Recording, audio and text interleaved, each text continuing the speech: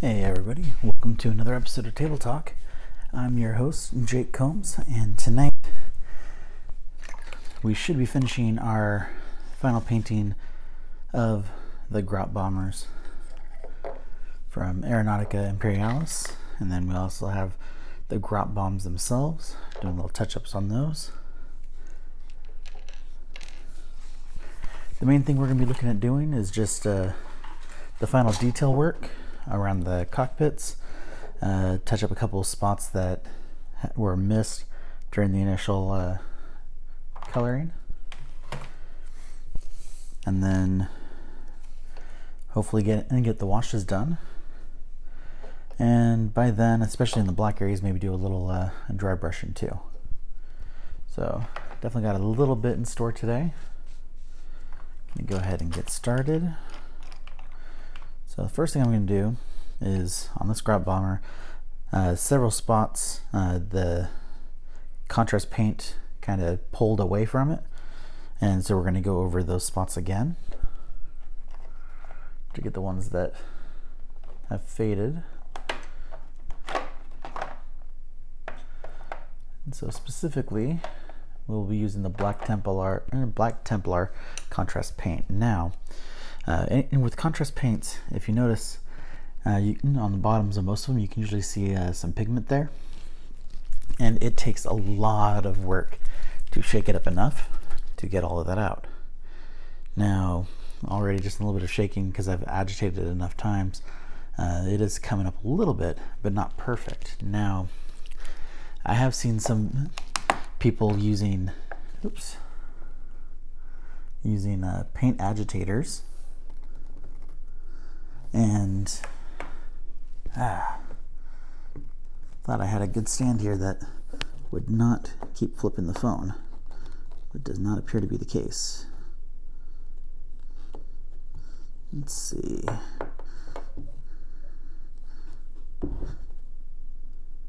Okay, there we go.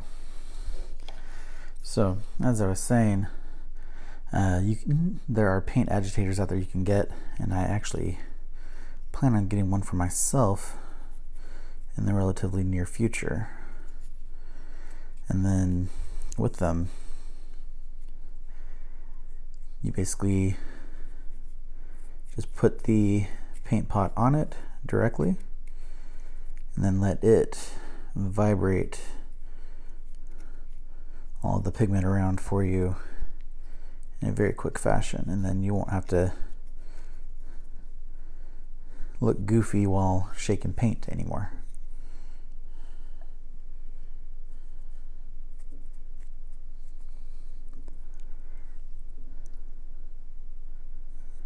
All right. So looks like the main touch-ups on this one are done. Check the black on this one, see if there's anywhere we missed. Apparently while it was drying it picked up a little bit of cat hair but thankfully most of that blew away. And ah, stupid stand.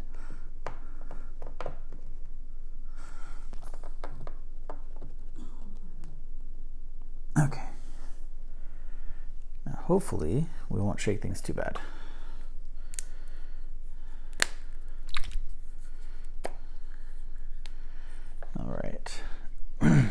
Now, if any of you notice, this brush I have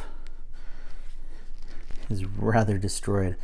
Um, so one thing that you can do is you can use a, an actual brush cleaner. I prefer the uh, the B&J, the Masters brush cleaner and preserver.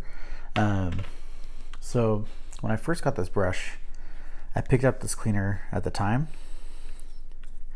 and at, when I first bought it, I couldn't really find any videos on how to use it properly. And so I didn't really get around to using it. And fast forward about mm, almost three years that this one brush has been going for me. And finally decided to stop throwing away other brushes because this one's lasted longer than pretty much any of them, and figure out how to actually clean it properly. And so once I did that, uh, this brush actually looked almost as bad.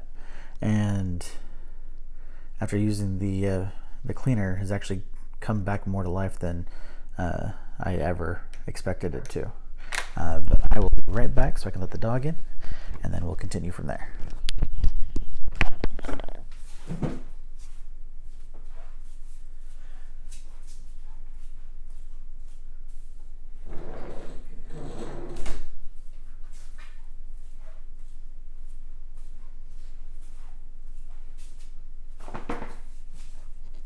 All right, sorry about that. Okay. So, for everything that you're going to paint, the right brush makes all the difference. And oh, that one's a little too frayed for what I want to do. Here we go. So this one, it's one of my favorite brushes. It's actually the Insane Detail Wargamer brush from Army Painter. Um, it's got a very unique uh, handle compared to most others.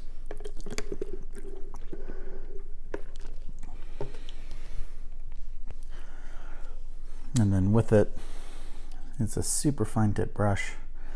And this one actually was quite frayed and completely came back to life with that brush cleaner. I should have taken some pictures of uh, the before and after for the exact same brush because this is the only one of this type I've ever owned.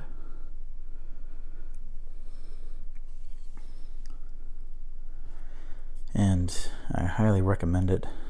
Love the handle type. Feels much more steady. Where other brushes kind of curve a little bit because of their round nature. This one as long as you know how to hold a pencil properly, you can hold it properly.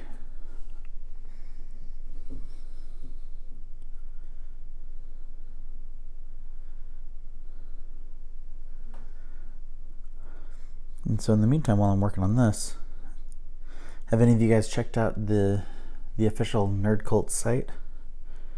Uh, we finally got the bulk of it uh, flushed out. We've even got articles for every category already posted. And now I've already got about 13 to 15 more articles that I'm actually working on on the back end to get us going. Um, and we actually just posted a review of the of one of the uh, Black Library anthologies uh, for their horror line, which was a lot of fun.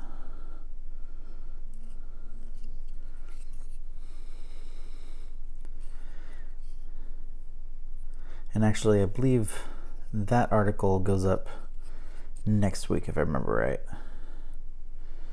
All right, so we got the the canopy done around the windows, the framework there.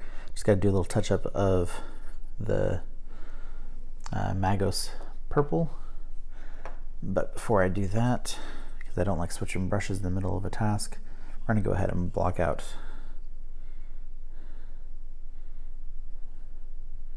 these windows.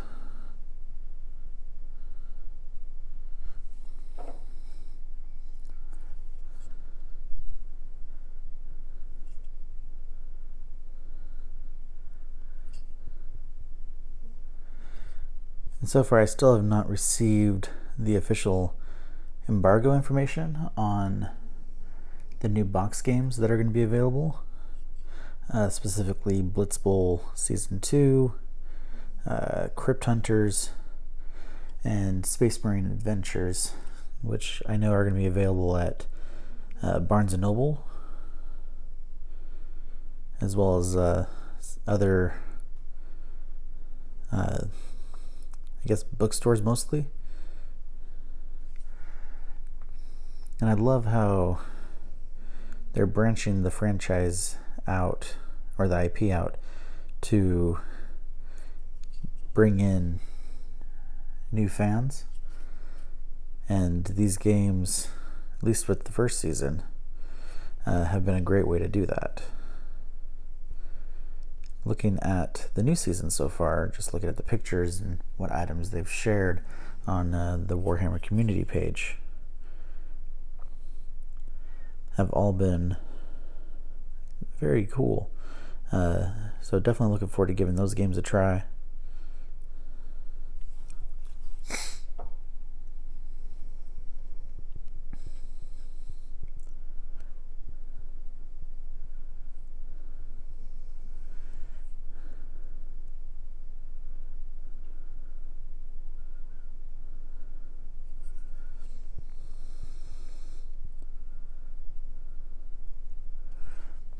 All right. Got the windows blocked out. And just a quick look at the grots. Okay, don't really see anything. Oh, well, this one's got a little steering wheel that wasn't painted before. Or some sort of steering stick.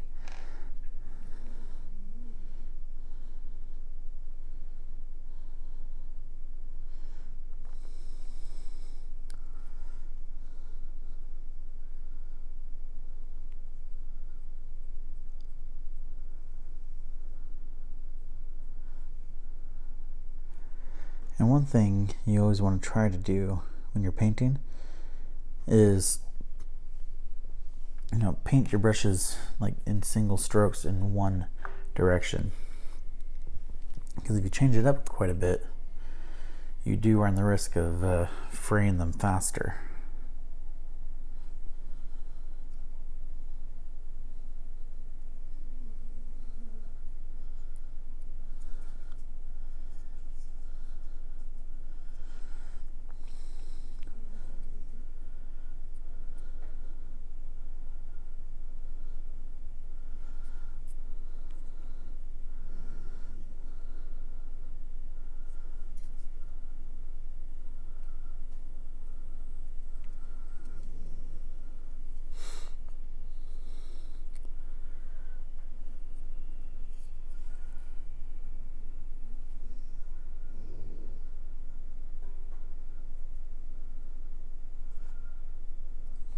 go.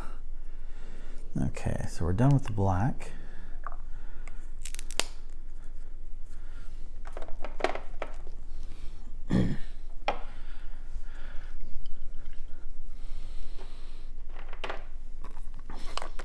now some of you may notice my drink I keep taking a sip of. Uh, no, we are not sponsored by Mod Pizza, um, but I am a huge fan of their blackberry lemonade. It is quite delicious. But that's mostly because I can't drink anything with caffeine. So it's one of the few drinks that they actually offer that don't have caffeine in them. All right.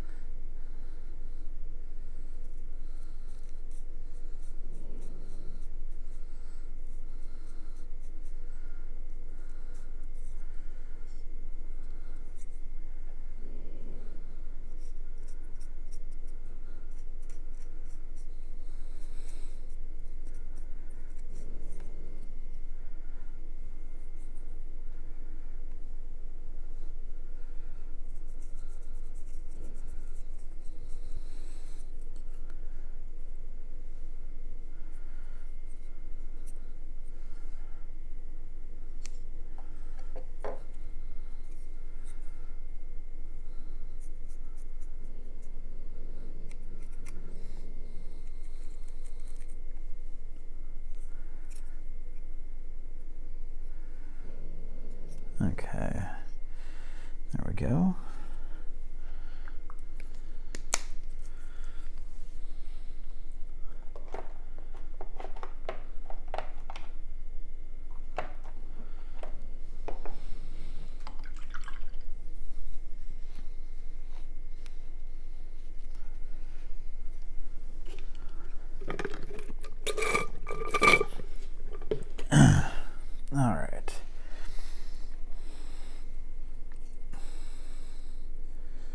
Gotta find which one it was. Because as I was turning it over, I did notice a couple other touch-up spots that needed to be done. Uh, here we go, right on the one of the wings for the Black Templar. Now, as I mentioned, some of the contrast paints do tend to pull up a little bit after you use them. So it is necessary to sometimes do a second coat where with contrast paints you typically don't need to do more than one coat with some of the paints themselves.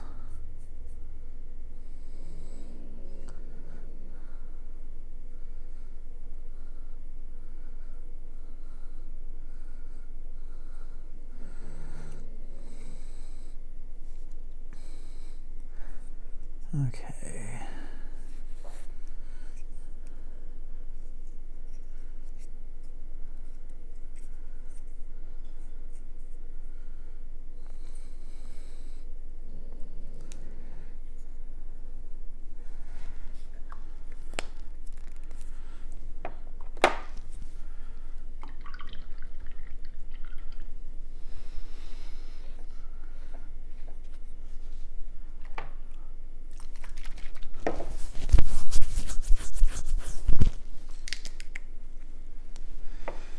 Okay, so the next step is going over with some Nuln oil over the purple to really bring out those details.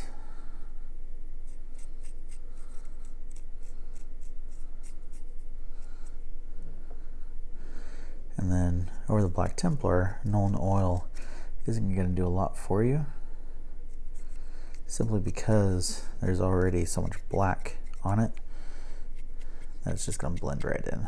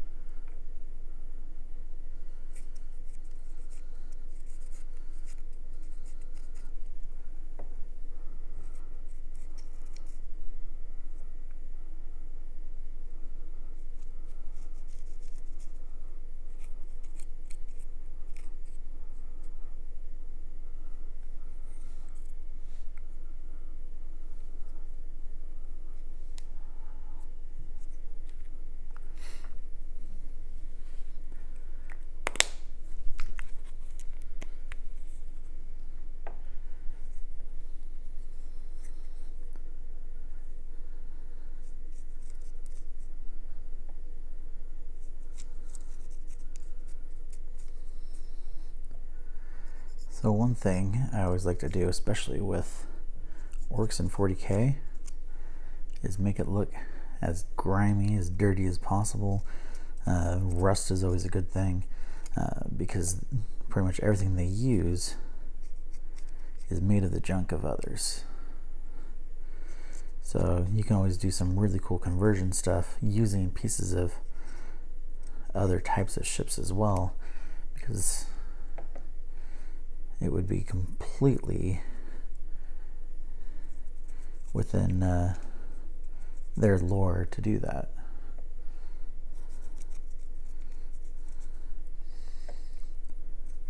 I mean, really, if you think about it, orks are really just the most environmental friendly of the species because they don't waste anything.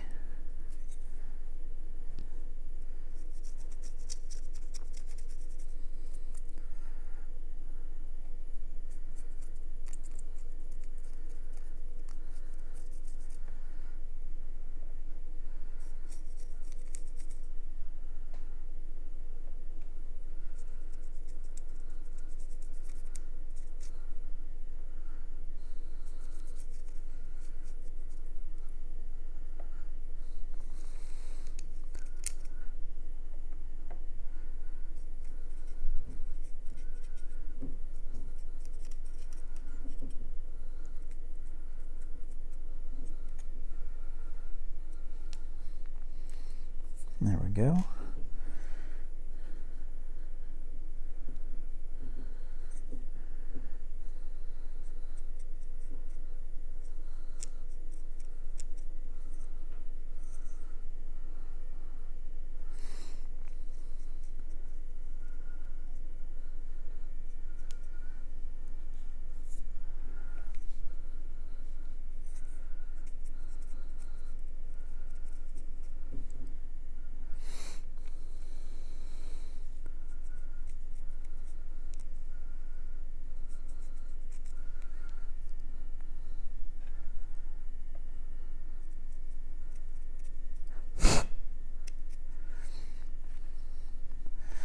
Sometimes you do get a little too much ink in some spots. So giving it a quick blow of air will get most of that out.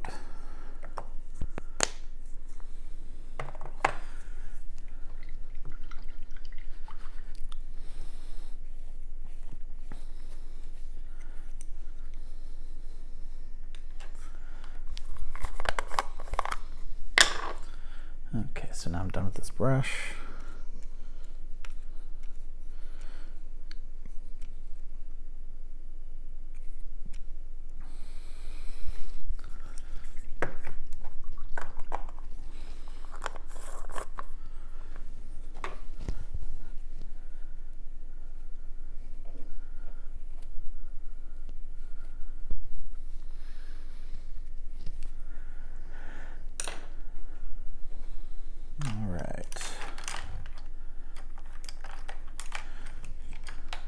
now that we've done our washes, we're ready to do our dry brushing over the Black Templar. Now, when I want to do a kind of a more of a white highlight uh, with a dry brush, I almost always go for Ulthuan Gray, uh, just simply because most of the darker colors have kind of uh, some subtle blue hints to them already. And Ulthuan Gray is more of a, a white, kind of with a little hint of blue mixed in. So it blends very well uh, as a highlight, uh, basically to make some of the more metal pieces uh, stand out.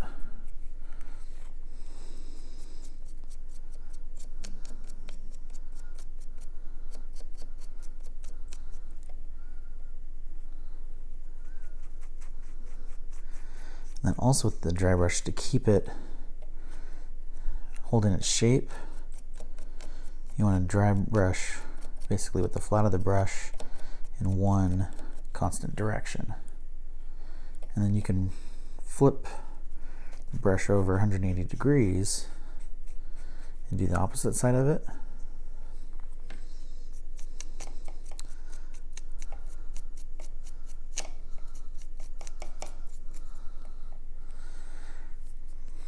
So that way you use all the paint that you have in the brush so it doesn't accumulate too much.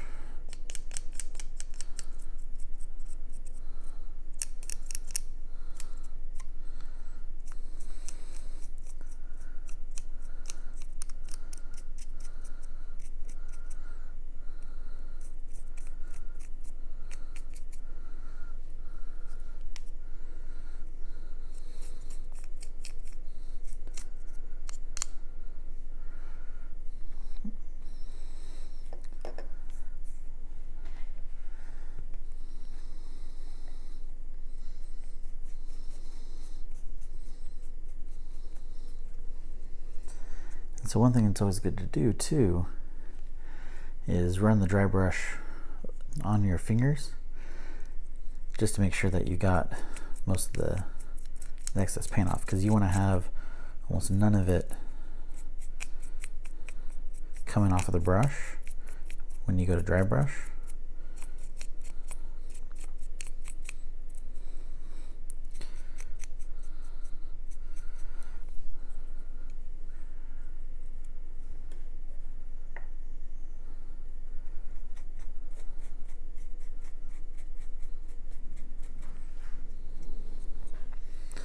So most people that do dry brushing, you'll notice that when they're painting, they usually have a lot of paint on their index finger because they're using it to test the dry brush.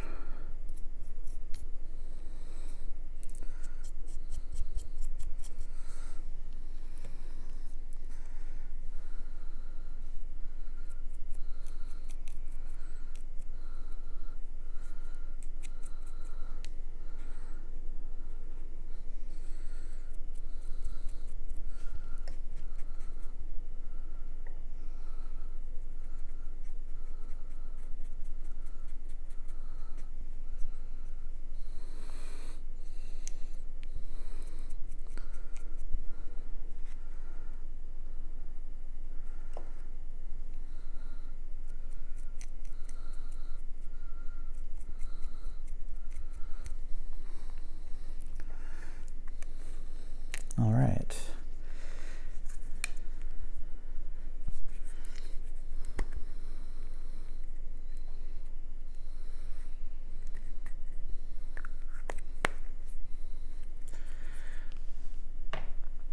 Okay, now it's time to clean the brush. And then with the you clean the dry brush, you, at least for me, I always like to get it very wet and then nice even strokes with the flat of the brush. Flip it 180 degrees, and do the other side. Do it a few times. That way you kind of work the soap in there, rinse it in your cup a bit, and then work it again. And the soap will actually help break up any paint that's stuck uh, where the bristles meet the handle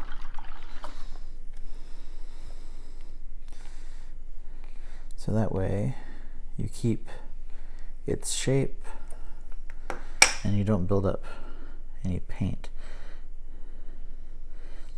Now, usually by the first or second session of using dry brush, uh, this dry brush would look more like this detail brush.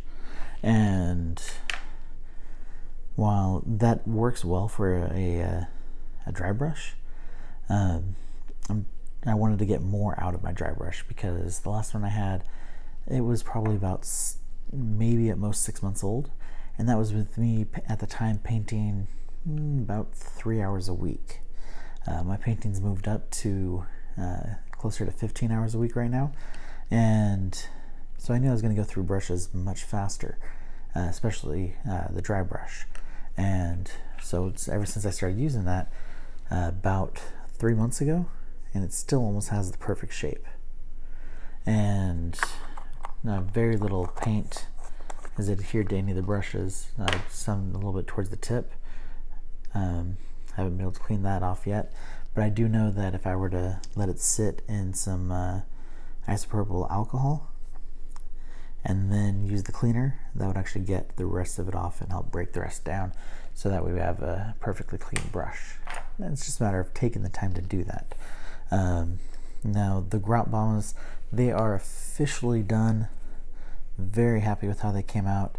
Um, you can definitely get a very, very good looking paint job without having to use uh, really much time and effort due to uh, uh, using contrast paints. Now next time we are going to start the base colors for our Tau ships. We've got two of the, I believe they're called Barracudas, and three of the smaller ships, whatever they're called. And for the most part, we're going to go do the entire thing in Blood Angels contrast red, and then we're going to do some washes, we're going to do some highlights, and then probably pick maybe like black or something else to uh, maybe go around the engines or uh, some of the big cannons or something like that. Haven't quite decided uh, which colors are going where, um, but I expect these mostly be done really in the the first session, um, unless of course we're doing an unboxing at that time. And if we are, then uh, we'll probably just paint them red, let them dry, and then uh, revisit later.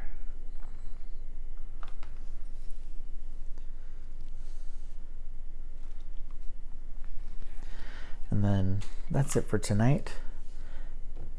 Uh, but before I go, I do want to mention that uh, in the near future, uh, Games U, um, our friends and longtime sponsors, um, they are actually working towards reopening uh, gaming in the store, uh, which is pretty awesome. Um, from what I understand, a couple stores in Arizona have done that already. Forgive me. And so they're looking to, do it right. Now, they are going to require some signups when people join. Um, obviously, uh, you know, absolving them of any sort of liability uh, due to uh, coronavirus or anything like that. And then, you know, it's maintain a minimum six foot rule uh, from each other. And then also, if you get any terrain out, you have to check it out, and then uh, basically help clean and put it back so that way uh, everything's sanitized for the next user. So it's a really cool setup. Uh, really glad that uh, I got to talk to them the other day and find out what they had planned. And so definitely something to look forward to. Um, you know, don't know if it's going to be. Excuse me. Within the next week or two, or maybe even longer. I know that the original plan was Saturday last week, but from what I'm hearing, uh, that did not happen yet, and they're still looking at doing it soon. Um, but the only other thing I have too is uh, Games Workshop, um, the company that supplies us all these awesome miniatures to share with you guys. They uh, just had their big preview this past weekend, um, and we have uh, new Orlock members. We have, uh, can't remember what it was for Horus Heresy.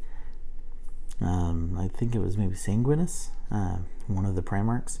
Then we also have um, my personal favorite, the new Warcry Catacombs box set is coming out. Basically, a new starter since the first starter is so hard to find now and uh, out of print and then we had um, the final Blackstone Fortress expansion. Uh, I believe it was called Ascension, uh, which had some Guardian drones. Looks pretty cool.